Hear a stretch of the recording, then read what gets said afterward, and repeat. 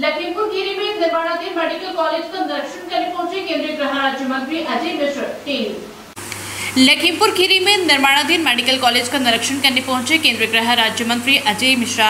टेनी लखीमपुर खीरी में Navnirman medical college का निरीक्षण करने पहुँचे केंद्रीय गृह राज्य मंत्री अजय मिश्र टेनी।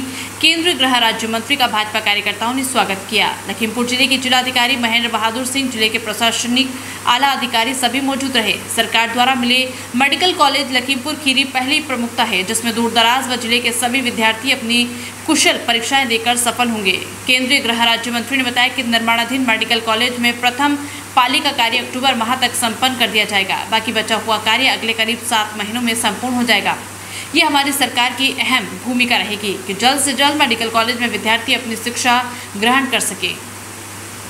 वंदे भारत से अनु भास्कर की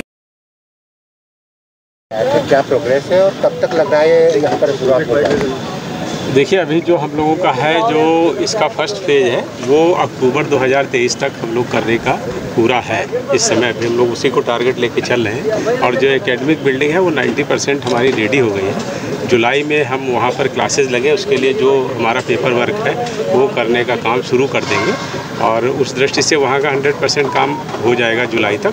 और यहाँ का जो है, वो अक्टूबर में फ़र्स्ट फ़ेज़ हम ख़त्म करेंगे। और सेकेंड फ़ेज़ के लिए हम लोग आगे समझते हैं, छः से सात महीना और लगेगा।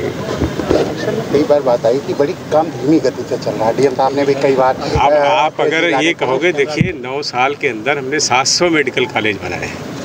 अब ये अगर गति धीमी है तो उस गति को आप क्या कहोगे जो दो से 2014 तक सड़सठ साल में कुल बने छः मेडिकल कॉलेज और 9 साल में बने हैं 700 medical college. Dudhwa tiger reserve में लखीमपुर खीरी दुधवा टाइगर रिज़र्व ले जाना जाता है यहाँ की लगातार हो रही है। संज्ञान लिया भी उस होगा।